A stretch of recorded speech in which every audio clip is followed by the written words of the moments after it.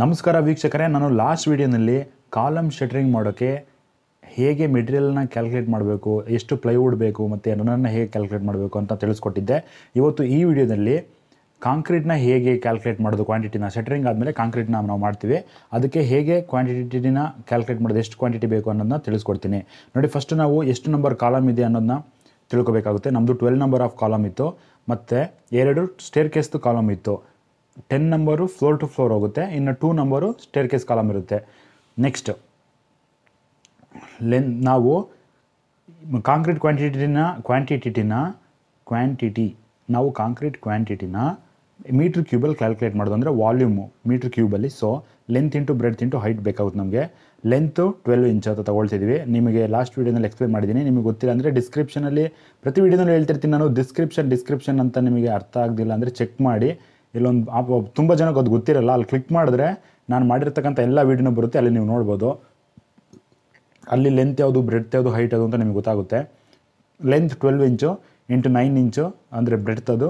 Into height eight feet six inch ನಾವು ಕಾಲಮ್ಗೆ ಕಾಂಕ್ರೀಟನ್ನು ಹಾಕೋದು. ಯಾಕೆಂದರೆ ಟೆನ್ ಫೀಟ್ ಇರುತ್ತೆ floor to floor height one and half inch beam ಬರ್ತಾ ಇದೆ ನಮ್ಮದು ಇವಾಗ ಒನ್ ಫೀಟು ಟ್ವೆಲ್ ಇಂಚ್ ಅಂದರೆ ಒನ್ ಫೀಟ್ ಅದು ನನಗೆ ಬರ್ಕೊಂಡಿದ್ದೀನಿ. ಇಂಟು ನೈನ್ ಇಂಚ್ ಅಂದರೆ ಜೀರೋ ಪಾಯಿಂಟ್ ಸೆವೆನ್ ಫೈವ್ ಬರುತ್ತೆ.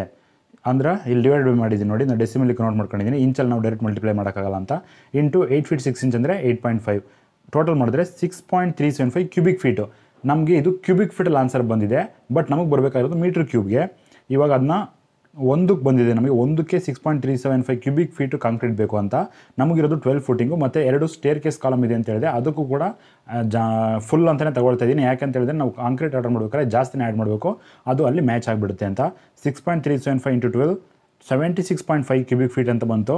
Seventy six point five divide by thirty five point three one five thirty five point three one five ಅಂದರೆ cubic ಫೀಟಿಂದ metre cubic convert ಮಾಡೋಕ್ಕೆ. Equals two point one six metre cube ಅಂತ volume ಬಂತು ನಮಗೆ. ಅಂದರೆ column twelve ಕಾಲಮ್ಗೆ concrete ಹಾಕೋಕ್ಕೆ two point one six metre cube concrete ಬೇಕು. ನೋಡಿ, ನಾವು ಕಾಲಮ್ ಕಾಂಕ್ರೀಟ್ಗೆ ಟೂ ಪಾಯಿಂಟ್ ಒನ್ ಸಿಕ್ಸ್ ಬೇಕಾಗಿತ್ತು. ಅದಕ್ಕೆ ಎಂ ಟ್ವೆಂಟಿ ಫೈವ್ ಯೂಸ್ ಮಾಡಿದ್ವಿ. ಆ ಥರ ನಾನು ಕ್ಯಾಲ್ಕುಲೇಟ್ ಮಾಡಿದ್ದೀನಿ ಆಲ್ರೆಡಿ ಎಂ ಟ್ವೆಂಟಿ ಫೈದು ಇವಾಗ ತೋರಿಸ್ತೀನಿ ಮುಂದೆ. ಸಾರಿ ಎಂ ಟ್ವೆಂಟಿ ಕ್ಯಾಲ್ಕುಲೇಟ್ ಮಾಡಿದ್ದೀನಿ. ಪ್ಲಿಂತ್ ಬೀಮ್ಗೆ ತ್ರೀ ಪಾಯಿಂಟ್ ಫೈವ್ ಏಯ್ಟ್ ಅಂತ ಬಂತು. ಅದಕ್ಕೆ ಎಂ ಟ್ವೆಂಟಿ ಅದನ್ನ ಆಲ್ರೆಡಿ ಕ್ಯಾಲ್ಕುಲೇಟ್ ಮಾಡಿದ್ದೀನಿ. ನಿಮಗೆ ಡಿಸ್ಕ್ರಿಪ್ಷನ್ ಲಿಂಕು ಸಿಗುತ್ತೆ.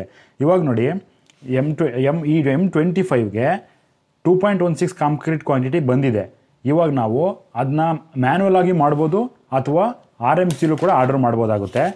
ನಾವು ಮ್ಯಾನ್ಯಲ್ ಆಗಿ ಮಾಡೋದಾದರೆ ಎಷ್ಟು ಜಲ್ಲಿ ಸಿಮೆಂಟ್ ಎಷ್ಟು ಬಾಂಡ್ಲಿ ಸಿಮೆಂಟ್ ಹಾಕಬೇಕು, ಎಷ್ಟು ಬಾಂಡ್ಲಿ ಜಲ್ಲಿ ಹಾಕಬೇಕು, ಎಷ್ಟು ಬಾಂಡ್ಲಿ ಮರಳು ಹಾಕಬೇಕು ಅನ್ನೋದನ್ನ ಹೇಗೆ ಕ್ಯಾಲ್ಕುಲೇಟ್ ಮಾಡೋದು ಅಂತ ತೋರಿಸ್ಕೊಡ್ತೀನಿ ನೋಡಿ. Calculation of M twenty five grade concrete ಒಂದು ಒನ್ ಇಷ್ಟು ಒನ್ ಇಷ್ಟು ಟೂ ಅನ್ನೋ ರೇಷಿಯೋನ ಫಾಲೋ ಮಾಡ್ತೀವಿ. ಎಂ ಟ್ವೆಂಟಿ ಫೈವ್ ಅಂದರೆ ಒನ್ ಇಷ್ಟು ಒನ್ ಇಷ್ಟು ಟೂ ಅಂತ. ಅದರ ಅರ್ಥ ಒಂದು ಸಿಮೆಂಟು ಒಂದು ಸ್ಯಾಂಡು ಒಂದು ಜೆಲ್ಲಿ ಅಂತ. ಇವಾಗ ಸಿಮೆಂಟ್ ಫಸ್ಟು ಸಿಮೆಂಟ್ನ ನಾವು ಎಷ್ಟು ಬೇಕು ಅಂತ ಕ್ಯಾಲ್ಕುಲೇಟ್ ಮಾಡ್ತಾ ಇದ್ದೀನಿ.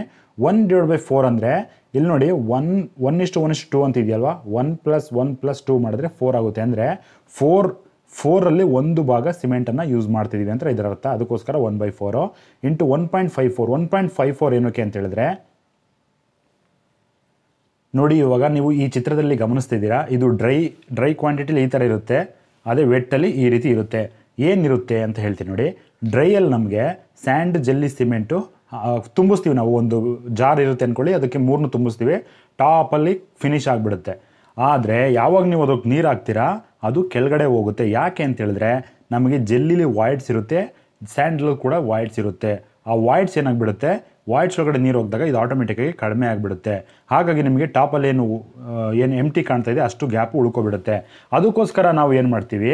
ಒನ್ ಪಾಯಿಂಟ್ ಫೈವ್ ಫೋರ್ ಅಂತ ತಗೊಳ್ತೀವಿ. ಡೈರೆಕ್ಟ್ ಒನ್ ಎಂ ಕ್ಯೂಬ್ಗೆ ಅಂತ ತಗೊಳ್ಳಲ್ಲ ಫಿಫ್ಟಿ ಫೋರ್ ಅಂತ ಎಕ್ಸ್ಟ್ರಾ ಆ್ಯಡ್ ಮಾಡ್ಕೊಳ್ತೀವಿ. ಅವಾಗ ನಿಮಗೆ ಕರೆಕ್ಟಾಗಿ ಒನ್ ಕೆಮ್ ಎಂ ಕ್ಯೂಬ್ಗೆ ಸಿಕ್ಬಿಡುತ್ತೆ. ಇದು ಒನ್ ಪಾಯಿಂಟ್ ಫೈವ್ ಫೋರ್ ಅಂದರೆ ಒನ್ ಎಂ ಕ್ಯೂಬ್ಗೆ ಕ್ಯಾಲ್ಕುಲೇಟ್ ಮಾಡ್ತಾ ಇರೋದು. ಬಟ್ ಜಾಸ್ತಿ ಸೇರಿ ಮಾಡಿಕೊಂಡು ಕ್ಯಾಲ್ಕುಲೇಟ್ ಮಾಡ್ಕೋಬೇಕಾಗುತ್ತೆ. Into one four four zero ಅಂದರೆ density of cement density one four four zero K G per metre cube ಇರುತ್ತೆ. ನಾನು ಇವಾಗ ಟೋಟಲ್ ಕ್ಯಾಲ್ಕುಲೇಟ್ ಮಾಡಿ five five four point four ಅಂತ ಬಂತು. ನಮ್ಗೆ ಆನ್ಸರು ಇಷ್ಟನ್ನ ಏನು ಇದನ್ನು ಕ್ಯಾಲ್ಕುಲೇಟ್ ಮಾಡಿದ್ರೆ ಫೈವ್ ಫಿಫ್ಟಿ ಫೋರ್ ಬಂತು. ಇದನ್ನು ಇದು ನಮಗೆ ಕೆ ಜಿಲಿದೆ ಈ ಕೆ ಜಿನ ನಾವು ಬ್ಯಾಗಿಗೆ ಕನ್ವರ್ಟ್ ಮಾಡ್ಕೋಬೇಕು. ಯಾಕಂದರೆ ನಾವು ಸಿಮೆಂಟ್ನ ಬ್ಯಾಗಲ್ಲಿ ಆರ್ಡರ್ ಮಾಡ್ತೀವಿ. ಹಾಗಾಗಿ ಒಂದು ಬ್ಯಾಗ್ ಫಿಫ್ಟಿ ಕೆ ಜಿ ಇರುತ್ತೆ. ಬೈ ಫಿಫ್ಟಿ ಲೆವೆನ್ ಬ್ಯಾಗ್ ಅಂತ ಬಂತು. ಅದೇ ರೀತಿ ವಿಷಯ ನಾನು ಸ್ಯಾಂಡ್ದು ಕೂಡ ಕ್ಯಾಲ್ಕುಲೇಟ್ ಮಾಡ್ಕೊಂಡಿದ್ದೀನಿ. ಸ್ಯಾಂಡ್ದು ಕೂಡ ಡೆನ್ಸಿಟಿ ಹಾಕಬೇಕಾಗುತ್ತೆ. ಇದು ಒನ್ ಬೈ ಫೋರೇ ಇರುತ್ತೆ. ಯಾಕೆಂದರೆ ಸ್ಯಾಂಡ್ ಬೇಕಾಗಿರೋದು ಒನ್ನೇನೆ ಆದರೆ ಜೆಲ್ಲಿಗೆ ಹೋದಾಗ ಟೂ ಇದು ಯಾಕೆ ಅಂತ ಹೇಳಿದ್ರೆ ನಾಲ್ಕರಲ್ಲಿ ಎರಡು ಭಾಗ ಜೆಲ್ಲಿ ಯೂಸ್ ಮಾಡ್ತಿದ್ವಿ ಅಂತ. ಎಲ್ಲದಕ್ಕೂ ಕೂಡ ಕ್ಯಾಲ್ಕುಲೇಷನ್ ಮಾಡಿಕೊಂಡು ನೋಡಿ, ಜೆ, ನನಗೆ ಸ್ಯಾಂಡು ಫೋರ್ಟೀನ್ ನಂಬರ್ ಬ್ಯಾಗ್ ಬೇಕು ಅಂತ ಬಂತು. ಹಾಗೆಯೇ ಜೆಲ್ಲಿ ಟ್ವೆಂಟಿ ಫೋರ್ ನಂಬರ್ ಬೇಕು ಅಂತ ಬಂತು. ಇದು one M cube concrete M twenty ಫೈವ್ಲಿ one M cube ಕಾಂಕ್ರೀಟ್ಗೆ ಲೆವೆನ್ ಬ್ಯಾಗ್ ಸಿಮೆಂಟ್ ಬೇಕು ಫೋರ್ಟೀನ್ ಬ್ಯಾಗ್ ಸ್ಯಾಂಡ್ ಬೇಕು ಟ್ವೆಂಟಿ ಫೋರ್ ಬ್ಯಾಗು ಜೆಲ್ಲಿ ಬೇಕು. ಅದೇ ನಮಗೆ ನಾನು ಹೇಳಿದೆ ಕಾಲಮ್ ಕಾಂಕ್ರೀಟ್ ಮಾಡ್ತಿರೋದು ನಾವು ಟೂ ಪಾಯಿಂಟ್ ಒನ್ ಸಿಕ್ಸ್ ಬೇಕು.